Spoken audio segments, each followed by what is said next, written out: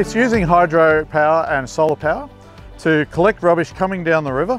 It collects into the bins and it comes to the front of the conveyor belt and through the water wheel uh, is turning and lifting the rubbish up and putting it into a skip bin which will save us collecting it from the mangroves in the future.